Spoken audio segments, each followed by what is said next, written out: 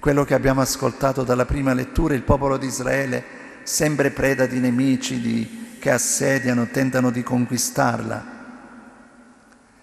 Vale anche per noi la parola che il Signore rivolge attraverso il profeta.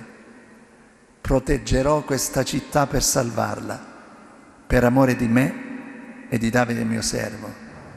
Se protegge la città, quando più protegge noi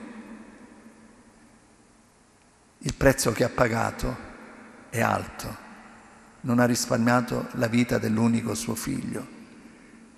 Questa è la nostra certezza e la nostra consolazione. La parola finale sarà questa, della, dell'amore di Dio che si riverserà in tutti noi.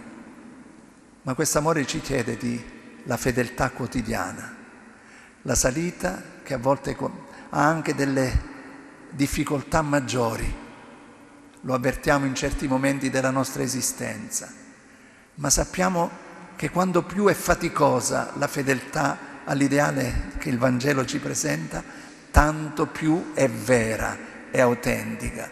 Stiamo percorrendo la strada giusta, la salita che ci porta alla pienezza del Monte Santo.